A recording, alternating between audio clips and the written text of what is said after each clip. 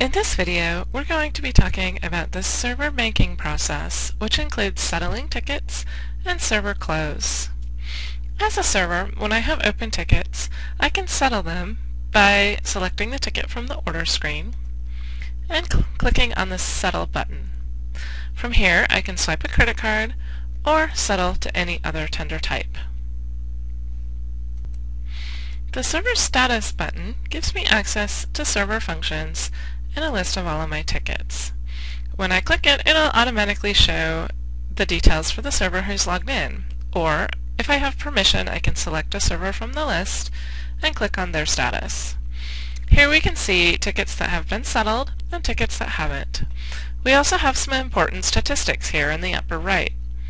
The total sales, average ticket, and dollars per guest graphs will show in green if you're in the upper third of today's servers, in red if you're in the lower third, and in orange if you're in the middle. Below that are your sales by revenue center. From this screen, you can transfer tickets to another server, if you have permission. Just select a, just select a ticket and click on Transfer, and select a server who's currently on the clock. You can also assign a bank to start your server shift, or make a drop of excess cash to a cash location. You can print a report of today's statistics. And when you're done with your shift, just click the Close Shift button. You'll get an alert if you have open tickets.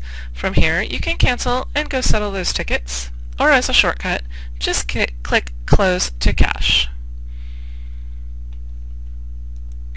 Now, you'll see a summary of your orders and the amount of cash that you owe.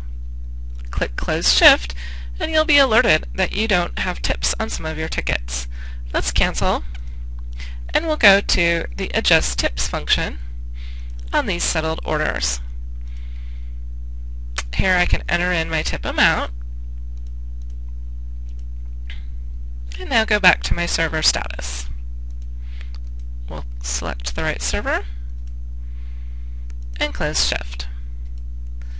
I'm just going to go ahead and skip the uh, tip, second tip alert and all I have to do is select a location to transfer my cash into.